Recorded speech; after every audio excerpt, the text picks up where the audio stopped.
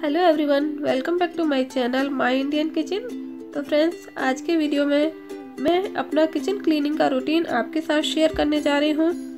तो लंच और ब्रेकफास्ट बनाने के बाद मैं अपने किचन को किस तरीके से क्लीन करती हूँ और कैसे ऑर्गेनाइज करती हूँ तो उसी का वीडियो आज मैं शेयर करने जा रही हूँ और उम्मीद करती हूँ आपको ये वीडियो पसंद आएगा।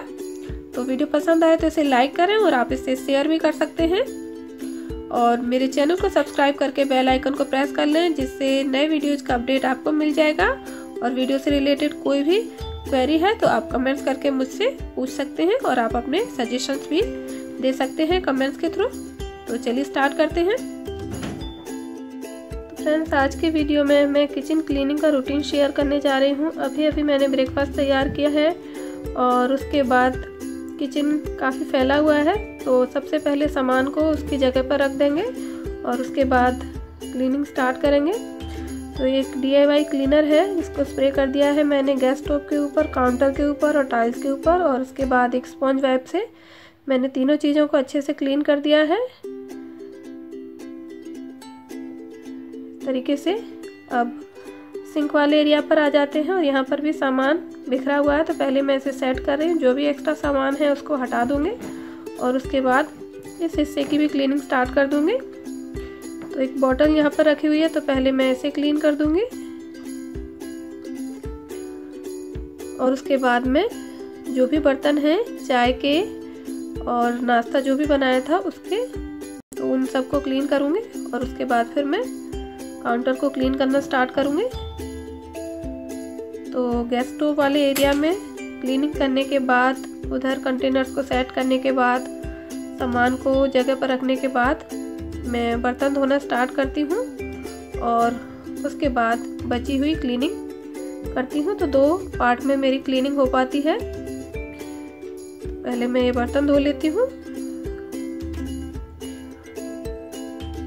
तो अभी मैंने पराठे बनाए थे, चाय बनाई थी तो ये सब। इसी के बर्तन हैं, बर्तन बहुत ज़्यादा नहीं है अभी। क्योंकि जब लंच तैयार करते हैं तो उसके बाद काफ़ी सारे बर्तन निकल जाते हैं। अभी सिर्फ़ चाय के बर्तन हैं तो मैं उन्हें साफ़ कर देती हूँ। तो मैंने डिश सोप लगा दिया है इनके ऊपर, और इसके बाद इन्हें पानी से वॉश कर लूँगी। तो पहले काउंटर को धो लेती हूँ, सारे बर्तन मैंने सिंक पर रख लिए हैं।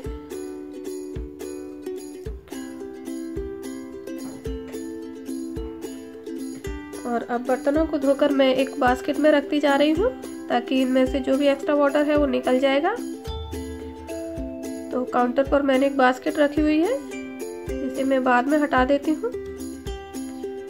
तो पहले सारे बर्तन धोकर मैं बास्केट में सेट कर दूँगी। फ्रेंड्स, अगर आपको वीडियो अच्छा लगे तो इसे लाइक करें और चैनल को सब्सक्राइब करके बेल आइकन को क्लिक कर लें। और वीडियो से रिलेटेड आपकी कोई भी क्वेरी है तो आप कमेंट्स करके मुझसे पूछ सकते हैं। अगर आपको वीडियो अच्छा लगे तो इसे लाइक ज़रूर करें और आप इसे शेयर भी कर सकते हैं अपने फ्रेंड्स और फैमिली के साथ। तो अभी मैंने सारे बर्तन धो लिए हैं और उसके बाद सिंक को क्लीन करना भी बहुत ज़रूरी है। तो इसे भी मैं डिश सोप से साफ़ कर रही हूँ टैप्स को भी स्पॉन्ज और डिश सोप के साथ में मैं और स्पॉन्ज को भी क्लीन करना है, अच्छे से वॉश कर लेना चाहिए स्पॉन्ज को। अब सारे टैप्स और सिंक को भी अच्छे से वॉश कर लूँगी। ये देखिए डिश सोप का जो कंटेनर है, उसको भी मैं अच्छे से वॉश कर लेती हूँ। जो भी सामान यहाँ पर मुझे दिखाई दे रहा है, उसको मैं पानी से साफ़ कर देती हूँ। तो ये क्लीनिंग हो गई है, उसके बाद मैं इसे स्पॉन्ज वाइप से क्लीन कर दूँगी ताकि पानी साफ़ हो जाए। स्पॉन्ज वाइप को धोना भी काफ़ी आसान है, इसे क्लीनिंग बहुत आसान होती है। इसे बीच बीच में मैं धोती जा रही हूँ और इसको स्क्यूज करने के बाद मैं काउंटर को क्लीन कर रही हूँ।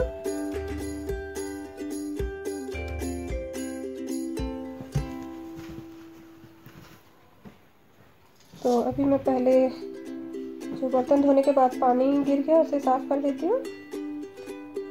और इनको भी पोंछ देती हूँ, इसे सूखा रखने की पूरी कोशिश करती हूँ मैं।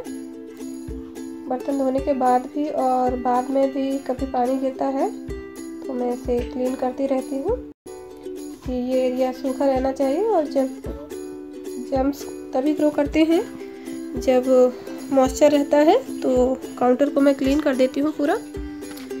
और यहाँ पर मैंने छोटे बर्तन प्लेट्स और बाउल्स ग्लास कप वगैरह लगाए हुए हैं। तो यहाँ पर भी थोड़ा बहुत पानी है तो उसे मैं साफ़ कर रही हूँ। आर को भी क्लीन कर देती हूँ साथ के साथ। और इसके बाद बास्केट से जो भी बर्तन हैंग करने हैं, उनको हैंग कर देती हूँ। और बाकी बर्तन मैं नीचे कबर्ड में रख देती हूँ।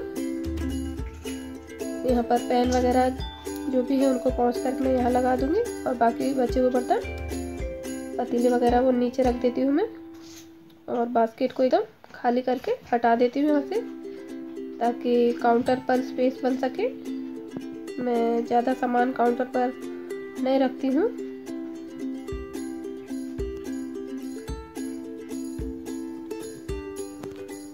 और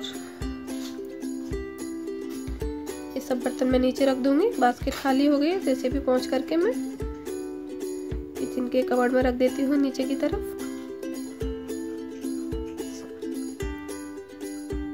और इसे मैं सिर्फ़ बर्तन धोने के टाइम पर ही यूज़ करती हूँ, ताकि एक्स्ट्रा वाटर निकल जाए और ये काउंटर और थोड़ा सा पानी रह गया है तो इसे साफ़ कर दूँगी मैं। और इस तरीके से पूरा किचन का काउंटर क्लीन हो जाएगा, काफ़ी स्पेस बच जाता है इसके ऊपर और उसके बाद इसे क्लीन करना आसान हो जाता है। अगर इस पर सामान ज़्यादा पड़ा रहता है तो मुश्किल होता है इसको क्लीन करना। यहाँ पर मैंने स्पून वगैरह रखी हैं, छोटी वाली, और बड़ी स्पून मैंने ऊपर लगा रखी हैं। तो गैस स्टोव को मैंने पहले ही क्लीन कर दिया था, अभी इसके स्टैंड्स को पहुँच करके मैं लगा दूँगी। और फिर बाद में मुझे लंच की तैयारी करनी है इसके बाद।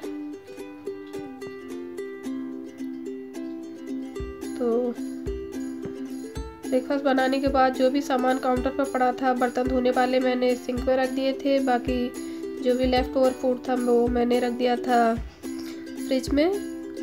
और उसके बाद मैंने कंटेनर्स को भी साफ़ कर दिया था, थोड़ा सा पहुँच देती हूँ उनको भी। और ये देखिए ओवरऑल लुक मैं आपको दिखा देती हूँ आफ्टर क्लीनिंग तो ये रैक में थोड़े होल्स बने हुए हैं तो जो भी पानी गिरता है वो सिंक में गिर जाता है. तो छोटे बर्तन में डायरेक्ट इसी में लगा देती हूँ, बड़े बर्तन में बास्केट में रख देती हूँ. तो ये काउंटर पूरा सेट हो गया है और इसको मुझे 20 मिनट का टाइम लगा है सेट करने में. और बर्तन धोने में थोड़ा सा ज़्यादा टाइम लग जाता है।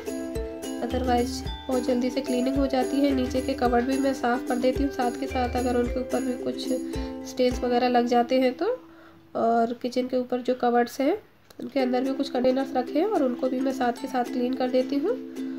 और जो भी टाइल्स वगैरह हैं गैस स्टोव के पीछे लगी हुई, उन सबको मैं डेली क्लीन करती हूँ। और ऐसा करने से फिर वो ज़्यादा स्टिकी नहीं होती हैं, ज़्यादा दाग धब्बे नहीं पड़ते हैं और आसानी से डेली साफ़ हो जाती है। अगर कुछ दिन लगाकर हम उनको साफ़ करते हैं तो हमें काफ़ी ज़्यादा मेहनत करनी पड़ती है और किचन ज़्यादा गंदा दिखता है।